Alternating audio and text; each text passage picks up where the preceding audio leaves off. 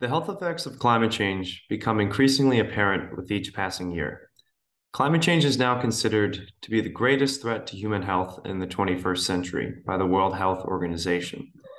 Additionally, the 2019 Lancet Countdown report admonished that the life of every child born today will be profoundly affected by climate change, with populations around the world increasingly facing extremes of weather, food and water insecurity, changing patterns of infectious disease, and a less certain future.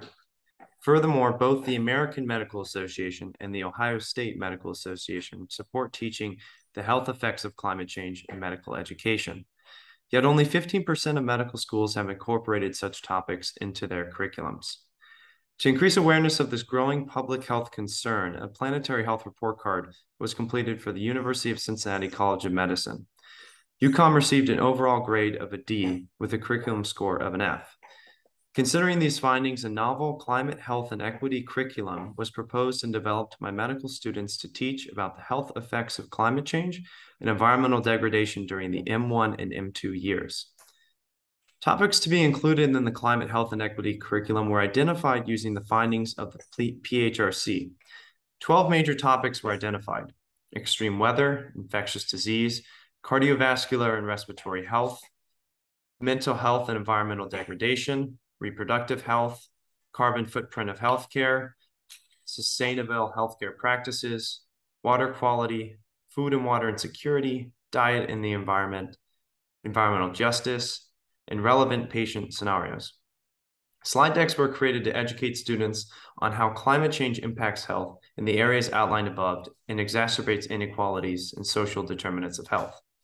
To date, the climate health and equity curriculum has been implemented into the M2 cardiovascular, pulmonary, and renal GI blocks, as well as the M1 physician and society course. Over subsequent months, the remaining topics will be in integrated into the other blocks. It is estimated that inclusion of these 12 major topics into medical student education will improve UCOM's curriculum score on the PHRC from an F to a B, which will raise our overall score from a D minus to a C.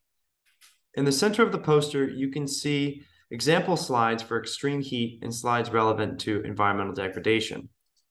One of the many recent examples that portrays how heat impacts health was the Pacific Northwest heat wave that resulted in nearly 200 deaths, which was the greatest weather-related tragedy in Washington's history.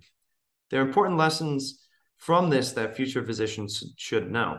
Many that passed during this heat wave had pre-existing conditions that made them at risk to heat related morbidity, such as cardiovascular disease, chronic kidney disease, or using medications like diuretics that made their bodies prone to dehydration.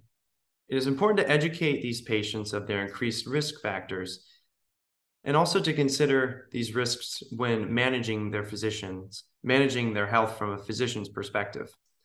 Moving forward, our goal this year is to complete slide decks for all of the M1 and M2 courses and to integrate these slides into the courses.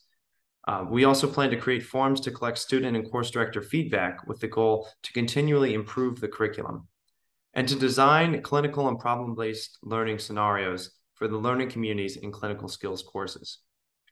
During the academic year 2023-2024, we want to collaborate with local climate-oriented nonprofits during the M1 Physician and Society Service Project. One organization we have already started discussions with is Green Umbrella. We also plan to work with the Ohio State University College of Medicine and the Climate Resources for Health Education Project to create a series of slide decks for all Ohio medical schools. Ohio State is currently in the process of implementing their own climate and health uh, curriculum.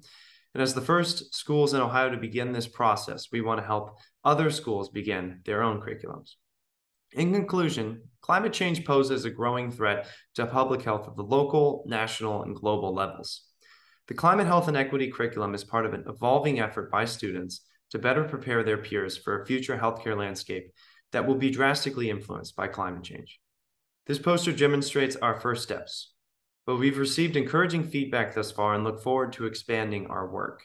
As this endeavor continues, any students or faculty members that are interested in this work are encouraged to reach out to the Medical Student Sustainability Club for more information or to get involved.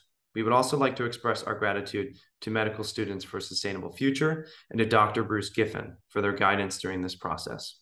Thank you.